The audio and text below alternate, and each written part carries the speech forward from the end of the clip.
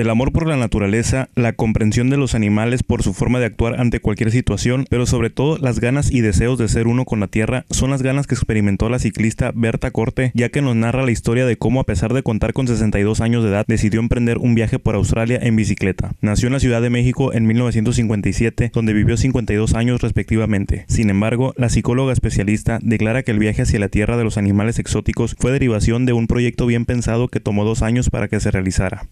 Las Naciones Unidas me, llama para llevar a cabo un proyecto de participación ciudadana en temas de medio ambiente. Y bueno, eso lo desempeño hasta que tengo 52 años, termina mi contrato en las Naciones Unidas y descubro que desde donde yo vivía en ese momento, que me cambio de la Ciudad de México a Colima, en Manzanillo salían barcos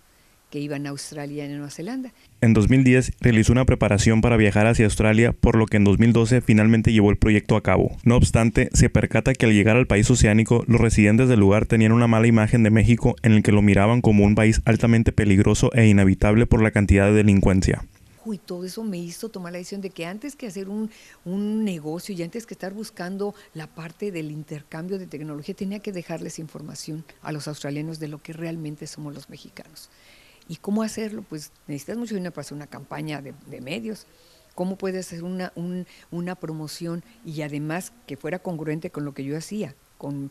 manejo del desarrollo sustentable, pues se me ocurrió que podía hacerlo en una bicicleta. 15.547 kilómetros fue lo que recorrió en Australia durante 10 meses. En ese tiempo se encargó de visitar a los diferentes medios de comunicación para exponer sobre las riquezas que México tenía para ofrecer, por lo que al llevar su camino de éxito y dificultades, el próximo proyecto que espera realizar Berta Corte es en la Ciudad de México, de donde proviene terminando este proyecto porque para finales de este año quiero tener ya lista la historia del recorrido y de todas las personas que, que se involucraron en apoyarme en ese recorrido y sobre todo de los grupos ciclistas que estuvieron pendientes y me fueron acompañando para recibirme unos kilómetros antes y luego para despedirme que salía de las ciudades. Con información de Julio Espinosa, Carlos Leiva, Mega Noticias.